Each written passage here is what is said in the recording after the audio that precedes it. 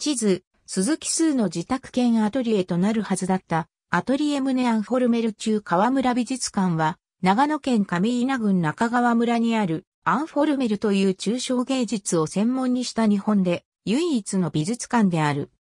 1950年代のフランスなどで起こった絵画運動のアンフォルメルを国内で唯一専門に扱う美術館であり、フランスから芸術文化勲章を授与された経歴を持ち、当館の建築主でもある画家で詩人の鈴木数の作品を中心に展示している。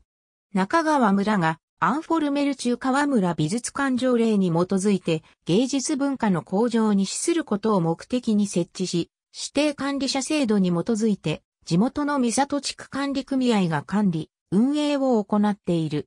建築家の模倣機構が設計を行った建物は、鉄筋コンクリート造りの平屋建てで、延べ床面積が297平方メートルとなっており、常設展示室や事務室がある本館と高さ13メートルのシンボルタワー、当初は住居用として建設されたが、現在は企画展示室として使用されているアトリエムネなどからなる。アンフォルメル中河村美術館の土地と建物を買収、建設したのはフランス芸術文化勲章受章者で画家の鈴木、スーである。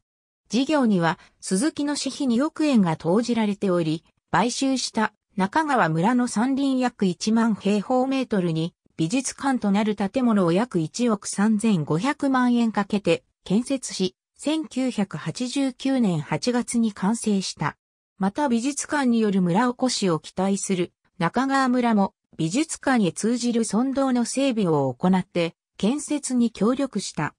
1990年秋の開館を予定していた美術館であったが、土地と建物の名義人になっていた鈴木の家族が死去したため相続税などの問題が発生し、開館は延期となる。1993年に入っても開館できずにいる状況を解決すべく、画家の意向に沿って村が土地と建物を買い取り、美術館を開館することになった。1993年10月29日、アンフォルメル中河村美術館が開館。予定から3年遅れての開館であり、2005年度からは指定管理者制度が導入され、地元の三里地区管理組合が指定管理者となって美術館の管理、運営を開始、友の会の創設や展示の大幅な入れ替えを行っている。冬季休館12月から2月開館日か、期、土日曜日、祝祭日開館時間9時16時入場料大人、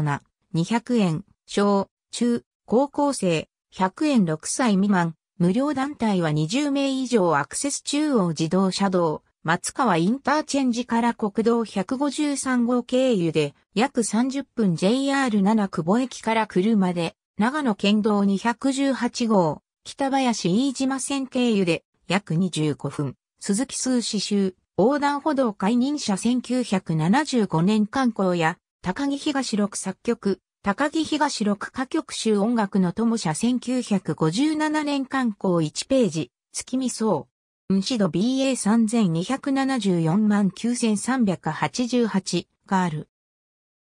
アンフォルメル中川村美術館条例。AB 中川村、中川村第5次総合計画 H22H3159 ページ AB アンフォルメル中川村、美術館 ABCD 中日新聞1993年2月27日、長官、施設美術館の買取検討中川村多額の相続税が壁村の力で芸術文化の拠点目指す中日新聞1988年10月29日、この人長野県の過疎村に施設美術館を作る画家、鈴木隆さん中日新聞1993年10月30日長官、アンフォルメル中川村美術館5年越しに開館新名物にと村期待。ありがとうございます。